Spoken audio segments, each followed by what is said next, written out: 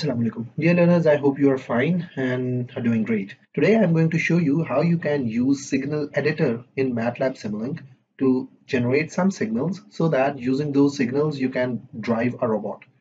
So in my previous video I've used signal builder to generate the signals and fed those signals to the robot and the robot moved through those signals. But for many people out there, they don't have signal builder in their MATLAB because it has it is outdated now and now they are using signal editor instead.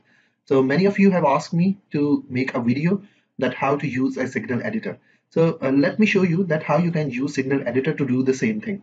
I have a robot over here, which is a three degree of freedom robot. It is basically a SCARA robot that has two revolute joints and the last one is the prismatic joint. So uh, Q1 and Q2 are going to be degrees or radians, whereas Q3 is the last prismatic joint that will require uh, input in form of meters. So I'll use the signal editor to design a joint space trajectory so that I can feed that trajectory to the robot and it can move on that trajectory. The trajectory that I'm going to use is, uh, let me show you first. This table shows the trajectory that I'm going to use. So at time t equals to zero, all three joints will be at zero position, whereas after 0.5 seconds, joint 1 must have rotated to 50 degrees, joint 2 to 45 degrees, and joint 3 will remain at 0.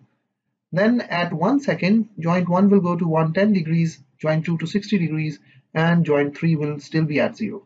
At 1.5, joint 1 and 2 will remain at the same location and joint 3 will move downwards because I have a prismatic joint attached as joint 3 so it will have a movement of 0.4 meters. After that at time equals to 2 seconds joint 3 will move backwards that is upwards and other two joints will remain at the same position.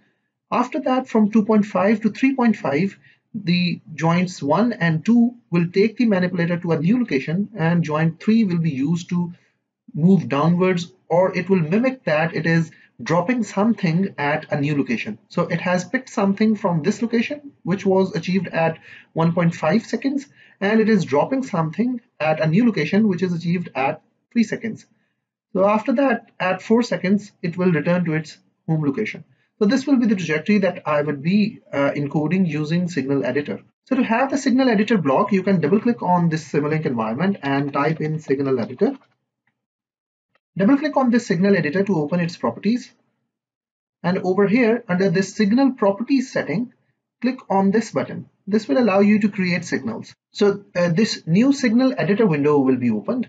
And over here you can see scenario. By clicking on this small drop down icon, you will see that there is one signal present in this scenario.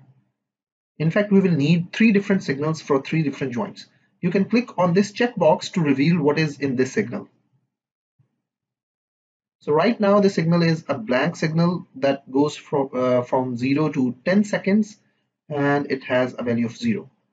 To edit this signal, let, let me call this signal for joint 1. So I'm labeling, I'm double, uh, you can double click on this name and name it as joint 1. So this signal will be provided to joint 1. To edit this signal, you can add rows over here by clicking on this button. So let me add some rows. And now let me add the time values. So the first time value is 0, next is 0.5, then I have 1, after that it's 1.5, then it's 2, and uh, the last value is 4. So these are the time values. Now the data values for joint 1 were the first one was 0, then it was 50, after that it was 1110, 110, then 110 again, 110 again, then it was 60, 60, 60 and 0 again. So this is our first signal. You can right click on this plot area, go to zoom and pan and select fit to view to view your signal. So this is the signal which will be fed to joint number one. Now for the next signal, you can right click on this pan, uh, select insert and then blank signal. A new signal will be added over here.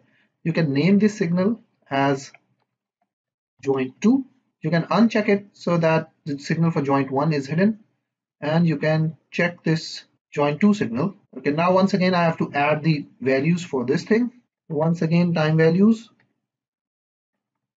And now the data values. The first one is 0, the second one is 45, then it's it was 60, 60, 60, 20, 20, and 20. So this is my second signal that will be fed to joint number 2.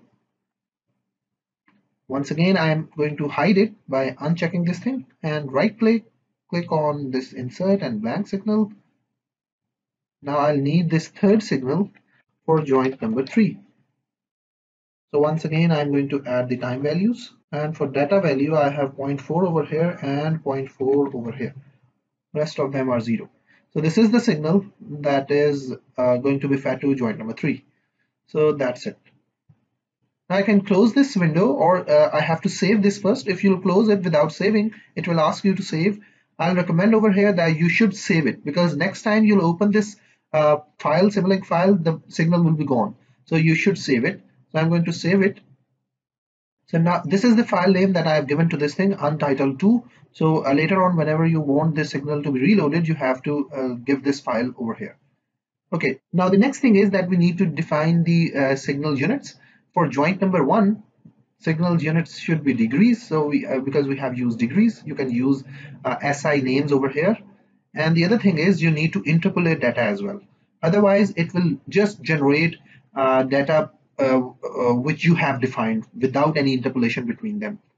So you need to click on this checkbox. So this is your first joint. Click on apply so that it is saved. Then go to this second joint. Write its units at degrees. Once again interpolate data. Apply. And then the last joint is this time meters because it's a prismatic joint. Click on interpolate data and apply and click OK okay so now that's it we have these three signals that can be fed to uh, our robot and our robot will move okay uh, you might be wondering that this this signal editor is generating joint number one and two signal in terms of degrees whereas normally robots do require uh, joint angles in form of radians. Yes, you are correct. But over here in this signal uh, converter, which is Simulink to PS converter, I have specified radians as signal input unit. So it the mat uh, so MATLAB will automatically convert degrees into radians, and it is shown by this small arrow over here, which shows that automatic conversion from degree to radians is being performed over here. So you don't need to have another degree to radian block. So that's it. Now you can click on run and see that how your uh, robot is working. So this is our robot and it is working perfectly.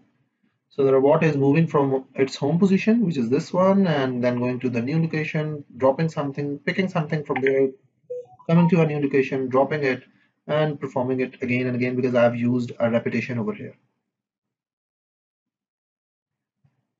So dear learners, I hope you have understood how you can use Signal Editor to generate signals similar to those of Signal Builder. So now you can use it quite easily to drive any degrees of freedom robot you have. Thank you and take care.